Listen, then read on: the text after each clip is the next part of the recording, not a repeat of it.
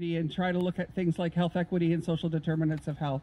I would also like to thank all the dignitaries. The United Way of Leeds and Grenville will kick off its 2024 campaign this Thursday, September 12th at Loaves and Fishes at 25 Front Avenue in Brockville.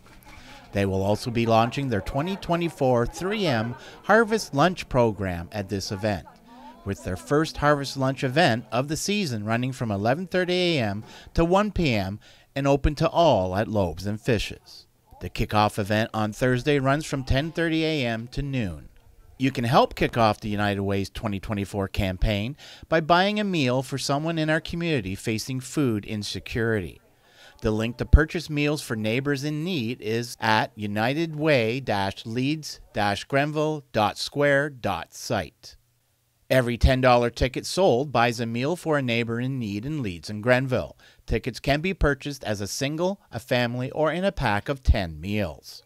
As dedicated advocates for community well being, 3M Canada and United Way Leeds and Grenville said they are excited to announce the upcoming series of 3M Harvest Lunch events, initiatives aimed at providing a wholesome meal to those experiencing food insecurity within our community.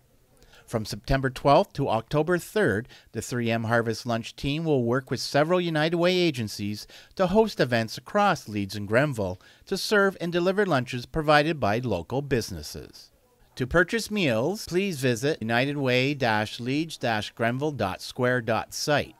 To learn more information on the United Way's 3M Harvest Lunch events, dates, and times, please visit uwlg.org slash 3M Harvest Lunch. And if you'd like to donate to the United Way's general campaign or their Urgent Needs Fund, please visit give.unitedway.ca slash donate slash wbrock. For Hometown TV 12, Dale Elliott in Brockville.